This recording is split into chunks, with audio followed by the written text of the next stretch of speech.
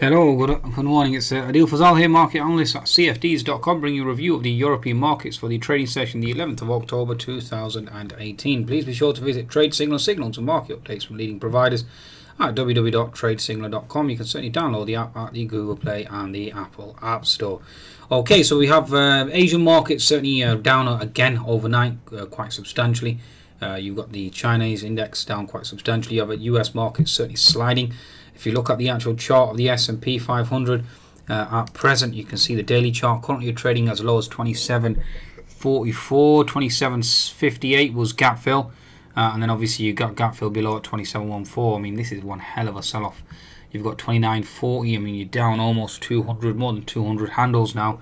Uh, what a sell-off! Unbelievable. Uh, truly amazing. I mean, if you are continuing on this rate, then you are looking at retesting 2700 and back down to 2600 when the actual rally more or less began. Um, so this year, I mean, that is uh, pretty impressive to say the least. Okay, and especially given the fact that the number of days that that's obviously that sell-off has occurred as well, that's even more prolific. So just bear that in mind. Okay, now in terms of the European indices this morning, uh, economic data front. Okay, so we've got uh, Mr.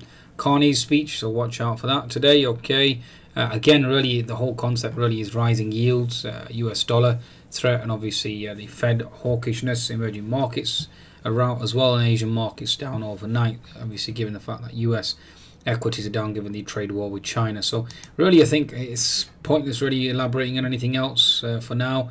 Uh, obviously, you've got Mr. Carney's speech to watch out there. Again, it will be damage control, CPI data, inflation data out of the US. Now, let's just go back to the technical damage. Really, that's I think that's what we really need to be focusing on.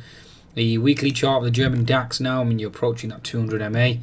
It really is in free fall at the moment, so certainly looking very, very bearish at present. Uh, daily chart again, I mean, you've got doji candle here of the gap fill, so certainly sort of a promising sign there for a potential reversal. French CAC as well, looking for a potential reversal at gap fill.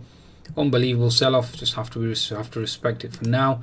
Uh, in terms of the FTSE 100, again, the market sell-off. We're really in no man's land at the moment. Uh, again, my uh, potential long rally has been based on you got gap fill in this zone here as well so watch out here around the 7020 zone okay potential support zone there uh, going to the smaller time frames in the FTSE really, I mean it's again it's no man's land to a large extent again looking for a potential reversal here now given the fact that US S&P 500 is in support and we are now into that pivot S3 support as well so watch out there uh, in terms, uh, last but not least, looking at the Euro Stoxx. Now, Euro Stoxx on the weekly chart, you certainly have potential support.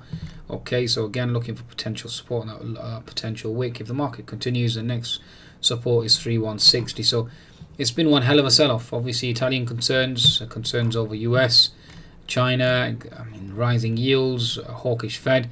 Everything certainly has come together. Obviously, uh, given the fact that Mr. Trump's uh, threat against China situation there certainly isn't being resolved, and uh, the supply chains in the in the US certainly being uh, obviously uh, filtered through or cleaned from China. That's their interpretation anyway. So again, bias certainly uh, increasing to the downside. Quite a significant sell-off yesterday. Very very impressive, especially with the uh, the Nasdaq as well.